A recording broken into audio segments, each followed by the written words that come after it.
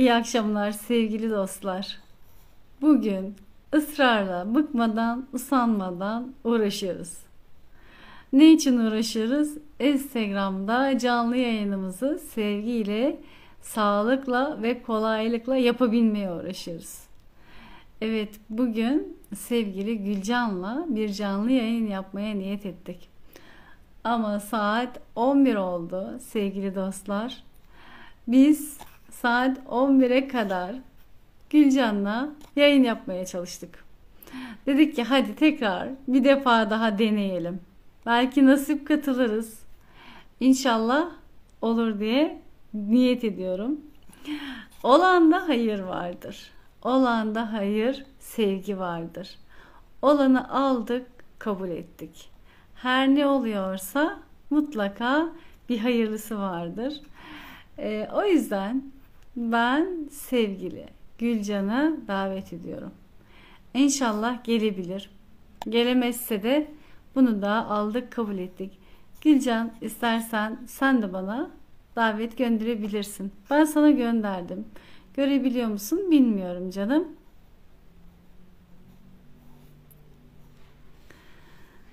Evet dostlar. Hani bir şey vardı. Ee, Gülcan bana davet gönderdi. Hadi Bismillahirrahmanirrahim. Niyet ediyorum. Çünkü yapılacak birçok şey yaptık. Instagram ön belleği temizleyin dediler. Temizledik. Ama bu sorun Instagram'dan kaynaklıymış. Telefonu tekrar açıp kapattık. Instagram'ı tekrar kaldırdık. Tekrar indirdik. Ama hala olmuyor, olmuyor. Sevgili dostlar, hani öğrenilmiş çaresizlik vardı ya. Onu yaşamamak için dedim ki hadi bir daha deneyelim. Ayşegül, Nuray, hepiniz hoş geldiniz. Sevgili Özlem, Mihriban, ısrarla bizim yanımızdasınız. Evet, bütün bunları Gülcan da yaptı. Az önce Gülcan tekrar yayın açtı. Ben ona katılmaya çalıştım. Katılamadım. Ee, bu sanırım Instagram kaynaklıymış. Instagram'ın bize göstermiş olduğu güzellik mi, engel mi nedir bilemedim. Gerçekten e, ne olduğunu anlayamadım. İnşallah da e, olur. Olursa mutlu oluruz gerçekten. E, Nuray'cığım hoş geldin. Bir istek daha gönderdi Gülcan. Kabul etmeye çalışıyorum. Ve olmuyor.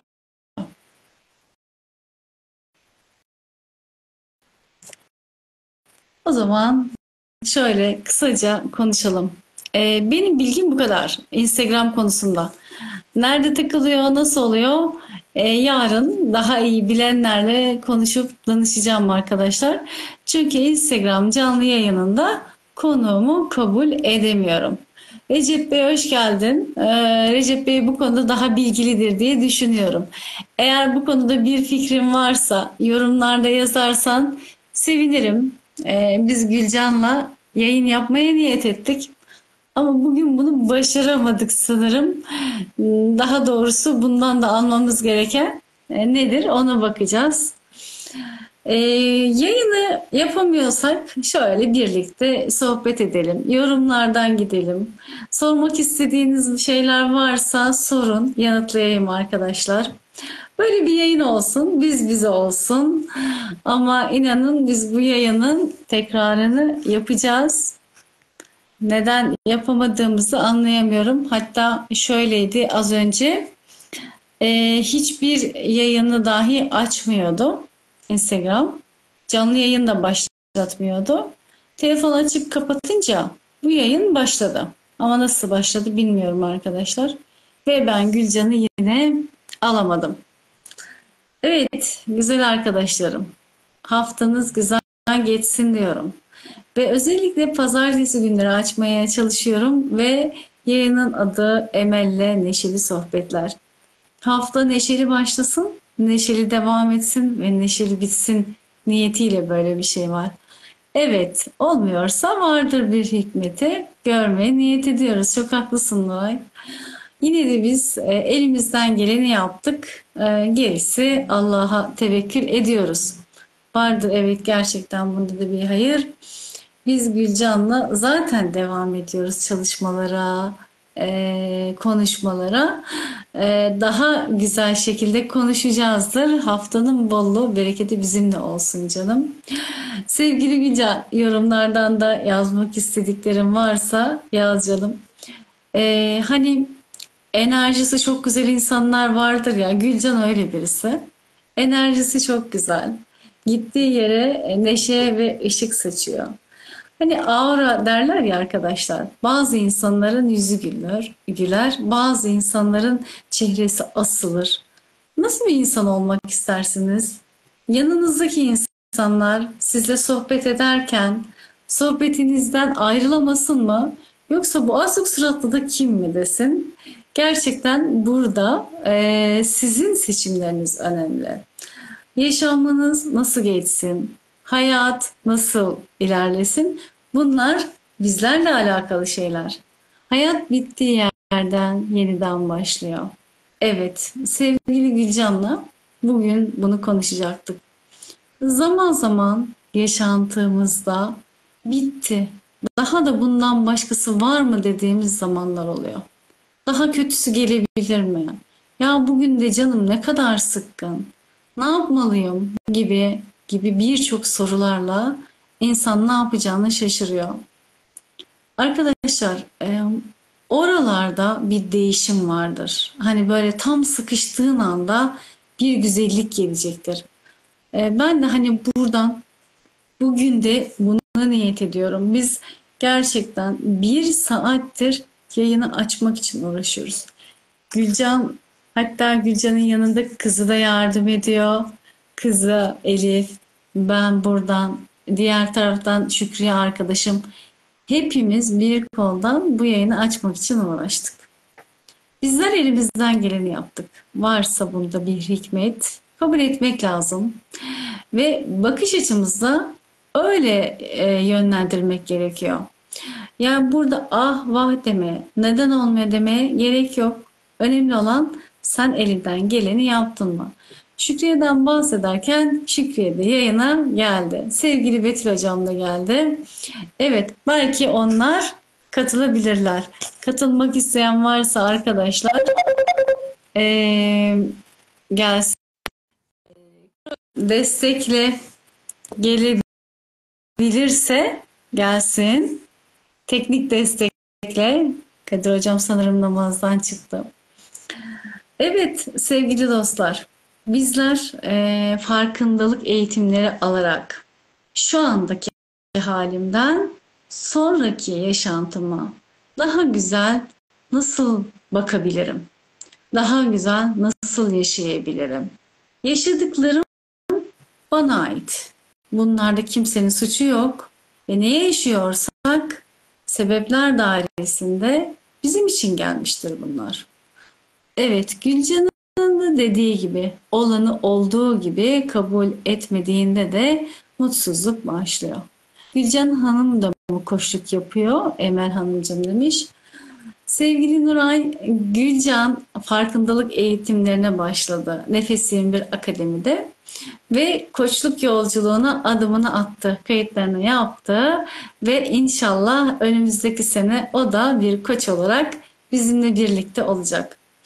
Yani burada aslında kişinin kendisinden başlıyor sevgili Nuray her şey. Her şey bir öğreti Dilcan'ın dediği gibi. Bu ne demek? Yaşadığımızın her şey, farkında olduğumuz her şey bizim için bir tecrübe oluyor. Hani derler ya, şimdiki aklım olsaydı, geçmişteki zamanım olsaydı. Peki bu mümkün mü? Peki nasıl mümkün olabilir? Aslında bizim çevremizde tecrübeli birçok insan var. O insanların yanımızdaki kıymetli değerlerin tecrübelerinden faydalanabiliriz. Bunu da işte yaşımız ne olursa olsun yanımızdaki tecrübeleri yok saymazsak, onlardan yardım almayı kabul edersek bizler de İşte şimdiki tecrübelerimiz ve o zamanki yaşımızla bu işleri yapabiliriz diye kendimce düşünüyorum. Geçmişten aldığın dersleri kabul edince seni sen yapıyor demiş Gülcan. Sevgili dostlar, şöyle bir düşünün. O kadar da acı da olsa, o kadar da tatlı da olsa. Kalan bir şey var mı yaşamda? Her şey geçiyor. Hani demişler ya, bu da geçer yahu.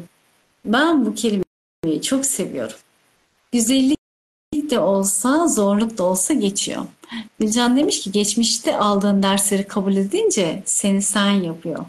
Varlığın ne olduğunu bilmek lazım. Bir de kendine harmanlamak. Kendini bilmek zaten her şeyin en başı. Kendini kabul etmek. Kabule geçtikten sonra farkındalık başlıyor. İnkar ettiğin şeyle tanıyabilir misin inkar ettiğin şeyi? Veya onunla baş edebilir misin? Çünkü tanımıyorsun. Gelen nasıl bir şeydir? İn midir, cin midir? Şekli nasıldır? Niyeti nedir? E, bu bizim için de böyle sevgili dostlar. Ben hala arada Gülcan'ı alabilirsem diye bir taraftan istek atıyorum.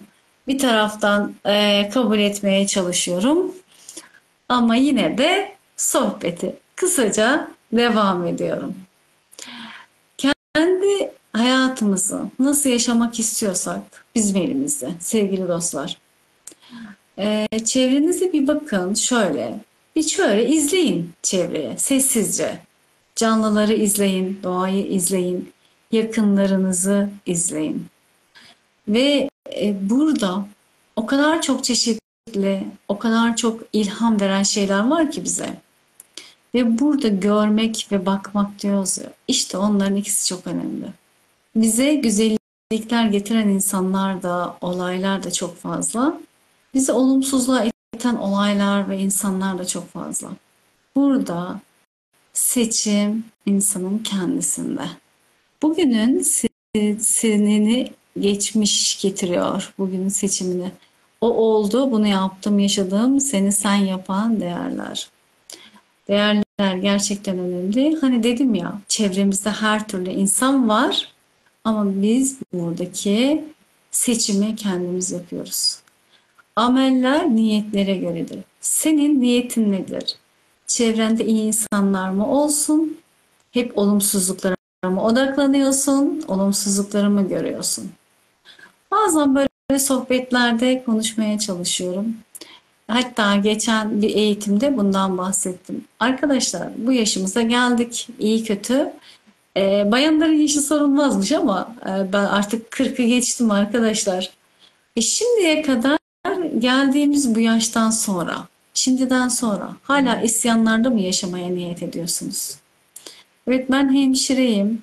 E, aynı zamanda hastanede çalışıyorum. Ve gerçekten bizim hastanelerde insanlar sıkıntılı oluyor. Stresli oluyor. E, Gülcan da hemşire bunun ta en derinliklerine kadar yaşıyor. Aslında özün Tanrı'dır. Giysilerin ise dünyaya ait giysilerin şeffaflığında özün serbest kalacak. Bizler gerçekten e, en çaresiz zamanlarında insanları görüyoruz. Ve çaresizlik insana her türlü hareketi, sözü yaptırabiliyor. Ve burada hep arkadaşlarıma şunu söylerim.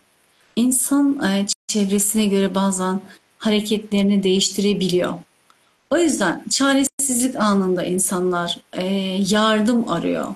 Bir el uzatılmasını istiyor. Bir nasılsın denmesini istiyor. Evet bazen hak etmediğimiz şekilde de davranışlar alabiliyoruz. Ama o bize ait mi? Karşıdakinin sorunu mu? İşte üzerine alırsan mutsuz oluyorsun. Ama o karşıdakinin kendisiyle alakalı. Karşıdaki insan zaten mutsuzsa, bu okulda da mutsuz, çarşıda mutsuz, hastanede mutsuz, bankada mutsuz. Ona benle alakalı bir şey yok. O yüzden o ona ait diye düşünüyorum ben. O onun sorunu, o ona ait. Ve Rabbim iyiliği nasip etsin. Güzeli görmeyi nasip etsin.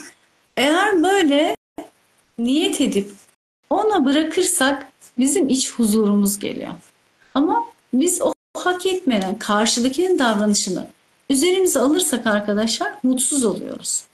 Ve farz edelim sabahtan ortaya gelmiş bir olayda akşama kadar sürüp gidiyor.